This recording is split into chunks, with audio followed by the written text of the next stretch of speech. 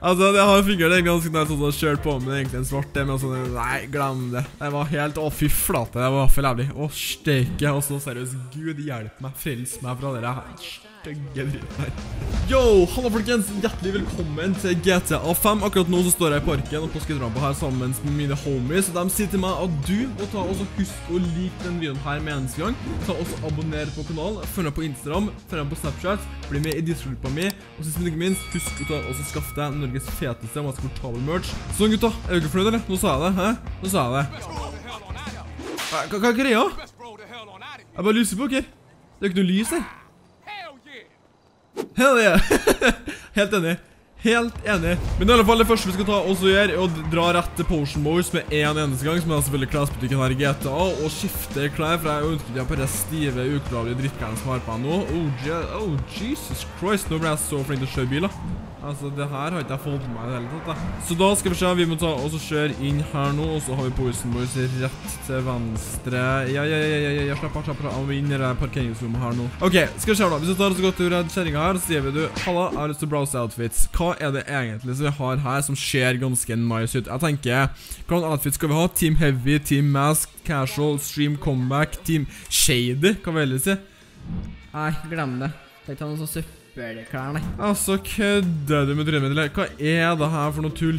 Hva er det her for noe? Ja, nå må vi jo snakke om noe, men det er ikke helt i den gata her på hvor jeg på en måte ønsker. Den her ser jo ganske fet ut da. Den her ser jo ganske nice ut. Jeg tenker vi tar og kjøper med noen lyse bukser og noen lyse jeans. Det så jo egentlig ganske fett ut. Vi må droppe denne capsen der, og så hvorfor har du på en sånn jævla sånn pappacaps? Jeg skjønner ikke. Altså, T-skjorta synes jeg egentlig ganske... Hva som skjer utenfor da?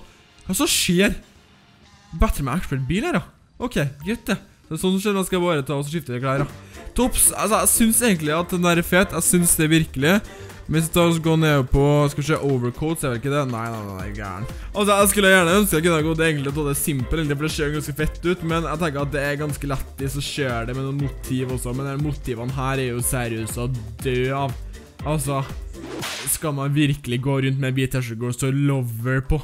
Altså, hvor klisjé går an til å bli? One love. I love you too. I'd love to you. Å, oh, herregud. Nei, vet du, jeg kommer som en vandrende Bob Marley. ok, det er herlig. Det er bare sinnssykt herlig der, da. Ser du, her er ikke noe caps, eller? Ja, capsen er kammerført. Nei, ikke capsen, men lua er kammerført. Jeg ser det ikke.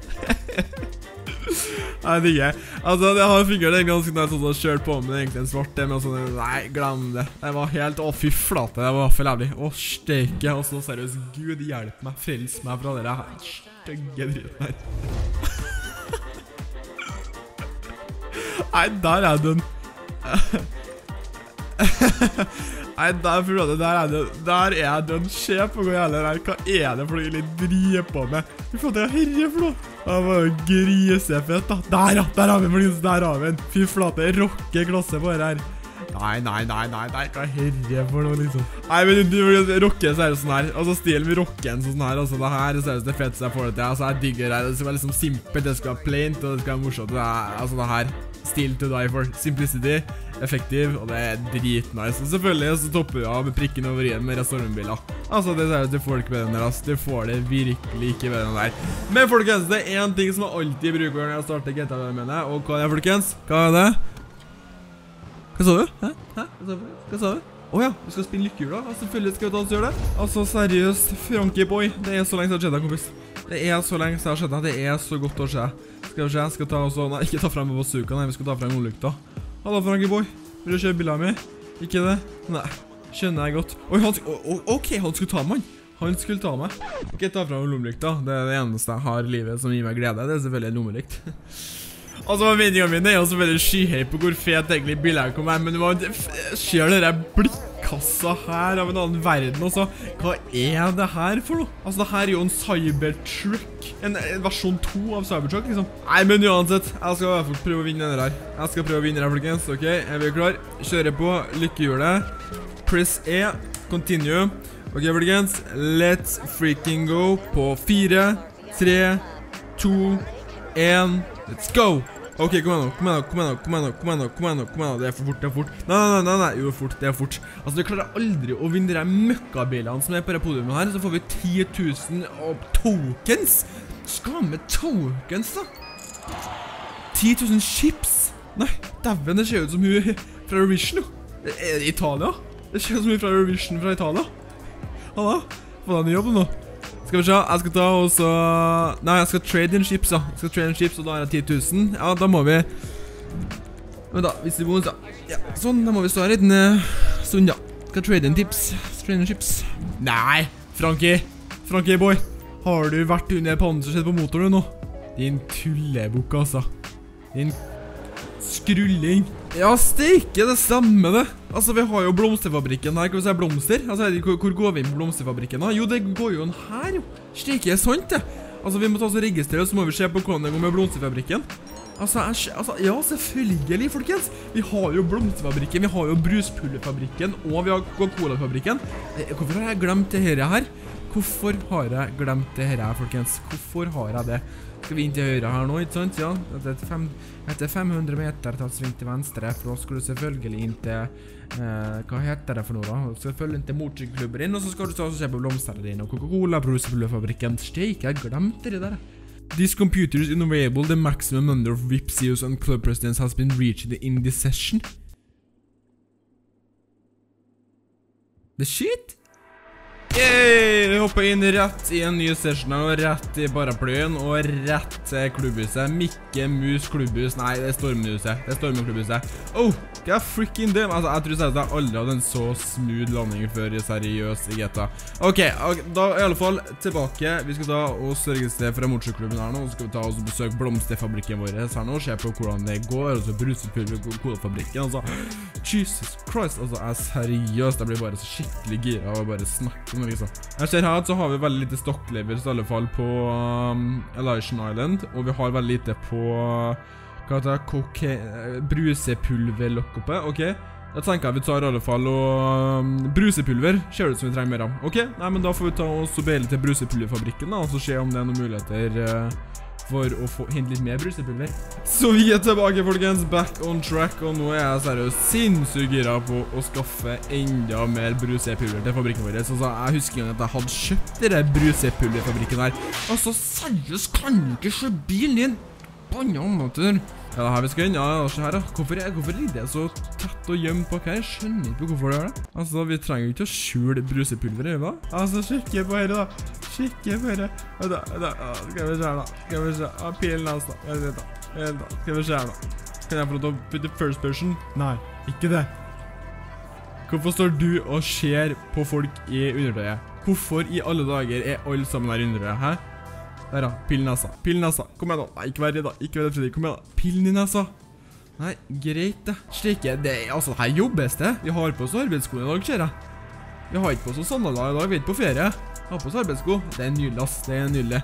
Men jeg skjønner ikke helt hvorfor de jobber under undertøy, egentlig. Det skjønner jeg ikke. Jeg husker ikke jeg skrev under det, altså.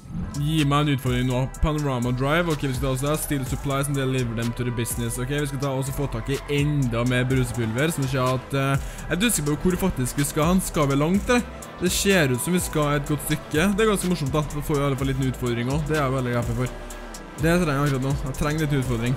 Spørsmålet mitt da, er hvorfor i alle heter det Panorama Drive? Det høres ut som en så sinnssykt koselig plass, men er det det? Nei, ikke i hele tatt. Nå har jeg kjørt steinlangt. Altså, jeg skjønner ikke på hvor jeg skal i det hele tatt. Skal jeg til Trevo liksom og fikse noen saker der? Ja, det beste det er jo ikke hjem, vet du. Ja, det er nydelig. Det er helt nydelig. Til nesten ha bæsj bæsje bleia. Ja, folkene her, så gir meg den teite oppdragene her. Åja. Folk er gira. Folk er sint. Folk er litt grann på tampen i dag. Jeg skjønner at det er mandag, men så trenger du ikke være så sur, da. Glem det. Ligg ned. Glem det. Ligg ned nå. Fantastisk. Det var enkelt. Enkelt og rett. Og fjern deg. Selvfølgelig. Og nå skal vi tilbake til businessen. Altså, så lukker han døra. Ingen kan se det brusepulveret deres, vet du. Det er ekte brusepulver av høyest kvalitet. Det er direkte fra Kina. Derfor står det original cowboybiler. Å, herregud, det går an. Steik, ass. Altså, jeg vet ikke om jeg kan skrype og si at denne er en av de raskeste bilene de har, altså. Det vet jeg om jeg virkelig ikke kan ta oss gjøre, men altså, den går nå. Er på at den går i hvert fall. Men det er særdeles lite utfordringer som møter meg her, altså. Det er det. The original cowboybildet viser seg som å være en tank, en Terminator på fire, fem, seks hjul. Helt sjukt mulig her.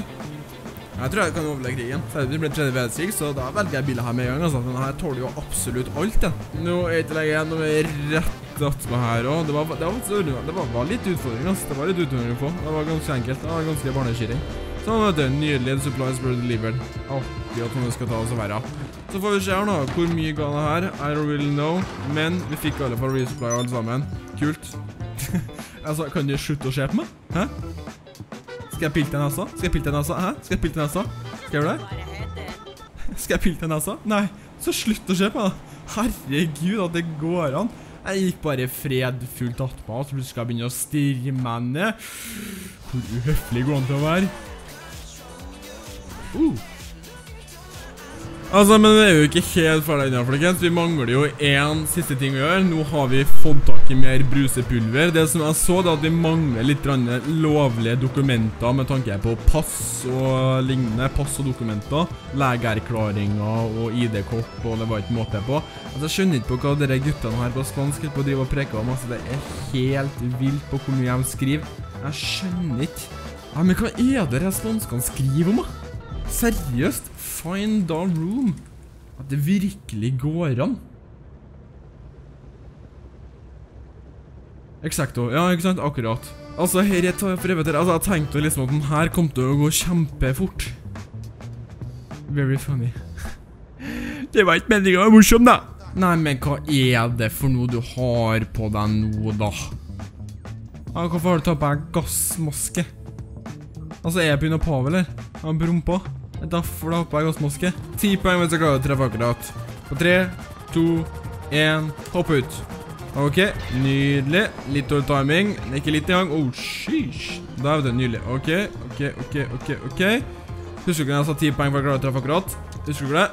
Bare glem det. Bare glem det. Bare stryk det. Bare stryk det. Så hva skal vi se her nå? Skal vi se om vi finner noe? Her sitter de og jobber igjen. vet du. Sitter de og jobber. Vi har lite produkter, og det er ikke noe artig. Det er jo veldig lite kult. Men spørsmålet mitt da, da er det nå Skal vi se. All States, nydelig. Vi har førekort, Vi har, har vi noen postkort, egentlig? Vi har bare førekort, ja. Jeg må bare ordne førerkort. Late folk, ass. Late folk. Herre må vi gjøre noe med, folkens. Herre må vi ta oss gjøre med. Vi har bare førerkort for alle fylkene. Det er ikke kult. Eh, bare upgrades. Vi kan ta equipment, staff, security. Jeg vet ikke hvor mye cash jeg har heller, men jeg tenker at eh, I don't know. Halv mil på dette? Ja, hvorfor ikke? Har jeg penger? Selvfølgelig har jeg det. Altså, det var et dårlig spørsmål. Ja, er det mulig, eller? Jeg venter på bilen min. Som er rett foran meg. Glem det. Den er her. Nydelig. Så vi skal ta oss dra til området som er rundt politistasjonen. Jeg regner med å bare riste av meg det der irriterende Prøv deg, da! Prøv å kjøpe meg. Glem det. Jeg vil ta på den gammelmusikken her. Fjern det. Så jeg skjønner ikke helt på hvorfor vi skal ta sine Altså, jeg driver en lovlig butikk som selger førerkort og pass og hele pakka her. Jeg skjønner virkelig ikke hvorfor jeg skal da også dra nære politistasjonen og hente.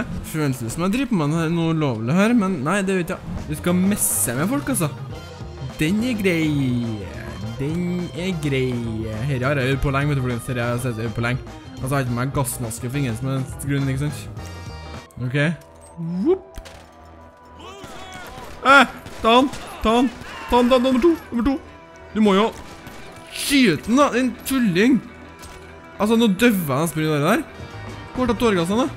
Det skjedde jo ingen verdens ting. Fy flate, helt idiotisk dårlig, ass.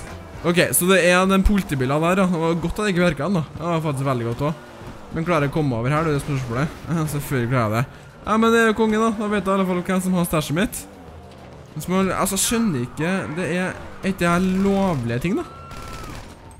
Jeg skjønner ikke på hva jeg mener. Skal ikke vi ta lovlige dokumenter, liksom? Nei, er jeg, så, er jeg så dårlig? Er jeg så dårlig? Kom igjen, skyt da. Takk, nydelig. Kom igjen nå, kjør nå, kjør nå, kjør nå. Hvorfor er det egentlig ikke politimotorsykler i Åland? Egentlig skjønner ikke det. Det bør jo være det.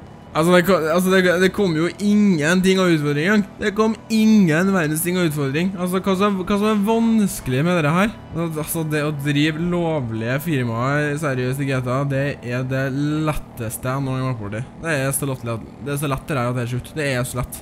Sånn, da er vi rett tilbake her. Her Har jeg hentet masse ting fra politiet, ikke sant? Så gir meg lovlige dokumenter, og sånn, så han ga meg frivillig. Nydelig. Da det supplies for delivered, akkurat som jeg ønsker det. Men vi oppgraderte jo også denne plassen her også, så hvordan ble det? Altså, ble det større, eller ble det noe fetere, eller ble det akkurat det samme? Det ble akkurat det samme. Ja, nei, men det er fint da. Da har de i alle fall litt supplies da. Så tusen takk for så videoen, ta legge en stor tommel opp, ta legger en kommentar under i kommentarfeltet på hva du synes, og hva du at vi skal ta oss gjøre neste gang i en ny GTA-video. Så får du abonnere på kanalen, så får du ta opp på Instagram, Snapchat, joine Discord på Meta, og så husk å kjøpe Nordavind merch. Og så snakkes vi veldig snart igjen. Ha det godt.